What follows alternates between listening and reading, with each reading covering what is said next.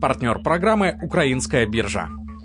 Срочный рынок в России появился в 1992 году. На московской товарной бирже началась торговля фьючерсными контрактами на доллар США. После этого стали появляться фьючерсы на приватизационные чеки, алюминий и другие активы. Активно работал рынок валютных фьючерсов. С 2001 года на биржу РТС работает срочный рынок Фордс. На нем торгуются фьючерсы и опционы на фондовые индексы, акции, облигации, валюты и кредитные ставки, а также на нефть, дизельное топливо, сахар и драгоценные металлы. Оборот срочного рынка Фордс сегодня в два раза превышает объем всего биржевого рынка России. Самым ликвидным инструментом является фьючерс на индекс РТС. Его объем торгов достигает 4 миллиардов долларов в день, более 70% общего объема российского рынка.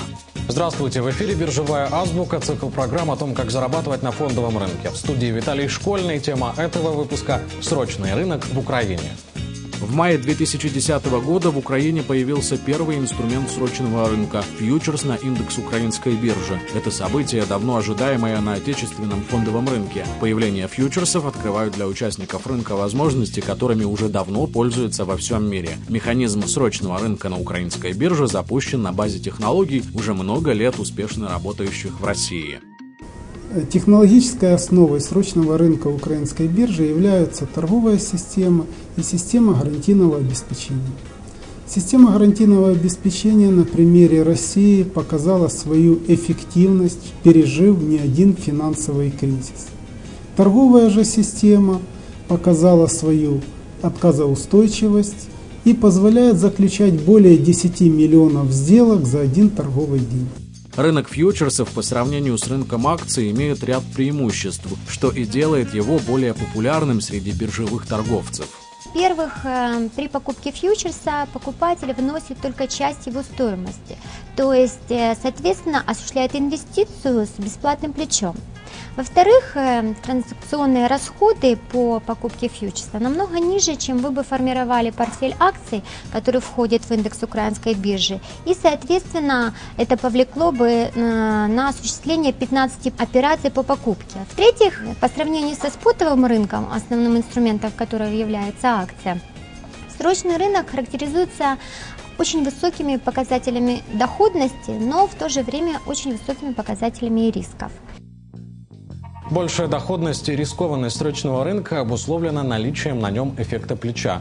К примеру, плечо 1 к 2 означает, что имея 1000 гривен, вы можете купить активы на сумму 2000 гривен. Если же 1 к 4, то на 4000. Размер плеча определяется уровнем гарантийного обеспечения, которое устанавливается биржей для открытия позиции. Соответственно, возрастает доходность и рискованность торговли. Для гарантии исполнения сделок на срочном рынке сформировано три фонда – резервный, страховой и гарантийный. Резервный фонд сформирован из активов биржи. Страховой фонд сформирован из взносов брокеров.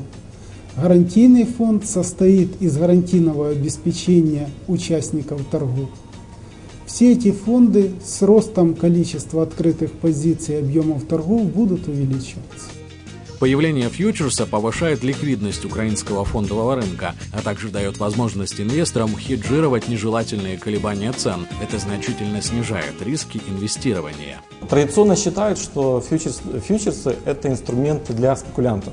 На самом деле э, он может быть с успехом применен и э, более консервативными инвесторами. Э, фактически, ведь когда вы покупаете фьючерс, вы покупаете пакет ценных бумаг, которые входят в этот индекс. Таким образом, а, вы покупаете ну, некий идеальный индексный фонд, который будет расти точно так же, как растет фондовый рынок.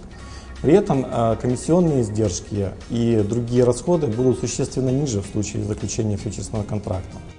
Кроме того, если вы ожидаете рост украинского рынка, не обязательно формировать портфель акций. Можно просто купить фьючерс на индекс украинской биржи.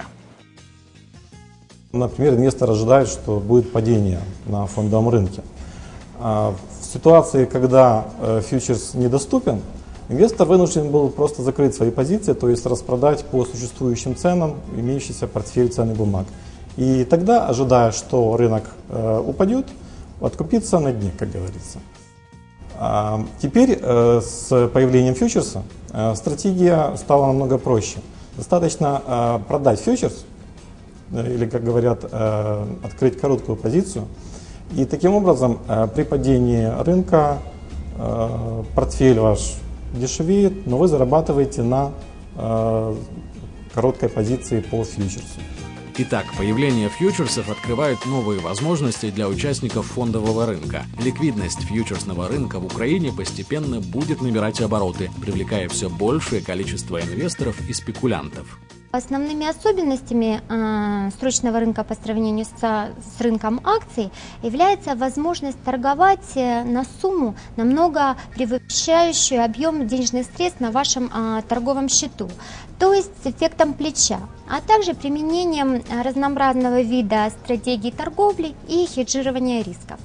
Хотя э, такие инструменты, как деривативы, являются нововведением для частных инвесторов, но учитывая их преимущества и возможности, э, данные инструменты позволят привлечь э, на фондовый рынок большее количество частных инвесторов и физических лиц.